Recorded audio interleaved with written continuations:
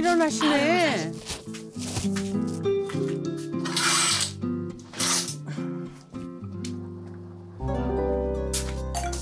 어? 요가 매트라는 그러시네. 것이 요가를 하시겠다는 네, 말씀이신데. 커튼을 아침부터요? 걷고. 아침에 일어나는 게 제일 싫은데 아직도. 와. 이야.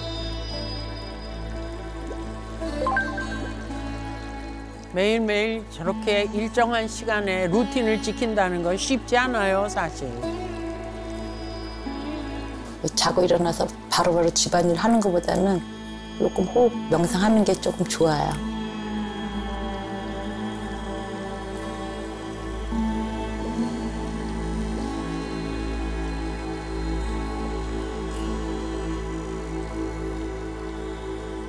늦은 나이까지 할 수 있는 게 보니까 요가더라고요. 한 10년 전부터 수업을 받았는데 선생님이 이제는 더 이상 와, 받을 게 없다? 그래서 자격증 따가지고 지금까지 하고 있어요.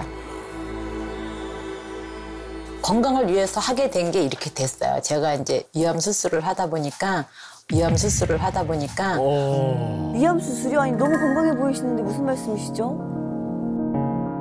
13년 전 아마 그런 것 같아요. 아유, 그러셨구나. 그때는 제가 신문사 콜센터에서 근무를 했어요. 거기서 이제 스트레스도 받고 이러다 보니까 음, 약간 위가 좀 쓰렸어요. 그래서 아 내가 뭔 일이 있나 보다 해갔더니 이제 의사한테 전화가 왔어요. 암이 강한 놈이 있고 약한 놈이 있는데 이거는 강한 놈이고 가운데 500원짜리 동전만 한 게 나왔으니까 아마 이제 좀 상암 들어가야 된다고 그렇게 얘기가 했어요. 아, 갑자기 암이라니까 이거 얼마나 두려웠을까요? 위 모양이 이렇게 손바닥처럼 생겼잖아요. 구멍을 이렇게 여섯 군데 뚫어서 이 부분을 다 자른 거야. 이 부분을. 그래서 그 당시에 다섯 살짜리 위로 어, 생각하면서 살아야 된다고. 예. 그래서 많이 먹지를 못했어요. 우울증, 무기력감. 왜냐면 이제 기운을 못 쓰니까 일단 힘이 없잖아요. 그때 이제 기운도 없고 소화가 안 되니까. 먹으면 또 속이 편안하지 않아서 또 화장실 가야 되고.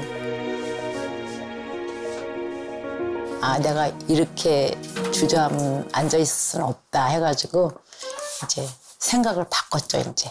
좀 몸을 움직이자. 내가 힘들더라도 예, 일단 걷고 화장실을 가더라도 먹고 예, 그래가지고 몸을 많이 움직였어요.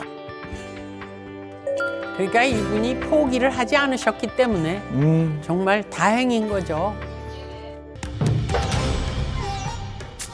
뛰어도 다니시고. 오호. 이야. 어, 네, 좋다. 한 일주일에 세 번 정도는 오고 있어요. 어유, 뭐 집안일도 아주 뭐 척척 하내시고, 네, 어 힘들지 않으신가 봐요. 운동도 또 빼놓지 않고 집안에서도 이렇게 하시네요. 와, 그 거실에 왔다 갔다 할 때는 까치발 들고 예, 왔다 갔다 해요. 예, 그것도 엄청 운동이에요. 까치발 들기. 음, 맞아요. 악바리 근성이 있어가지고 뭘 하나 하면 막 뿌리로 뽑는 스타일이에요. 예. 5년 동안 음, 많이 좋아져가지고 거기서도 완치되고 더 이상 약도 필요 없고 어, 그냥 꾸준히 지금처럼 관리하면은 음, 괜찮다고 해서 지금까지 이제는 관리하고 있어요. 진짜 노력 끝에 암까지 완치하시고 정말 대단하십니다. 아, 진짜. 어, 뭐야? 콩, 콩 같은데요? 어? 소리가. 무슨 음식을 만드시려나? 뭐 하러 왔어요? 큰 아들이네요. 앉아. 뭔데 당신? 콩국수. 오, 더울 때 콩국수 너무 좋죠. 네, 맛있겠다. 맛있겠다. 꾸준히 먹고 있어요. 그게 소화가 제일 편하니까.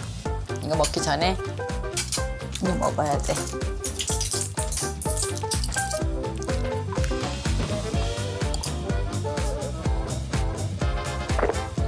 먹겠습니다.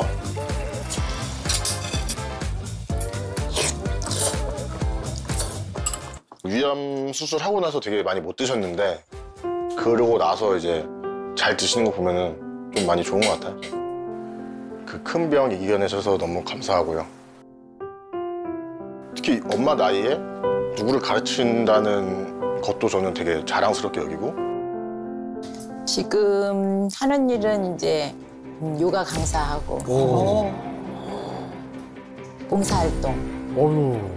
어, 멋지시다. 재가센터에서 어르신 케어, 야 정말로 활동을. 부지런하게. 건강이 허락하는 한은 하루하루 감사하면서 즐겁게 사는 게 제 하루 24시간의 생활 목표예요.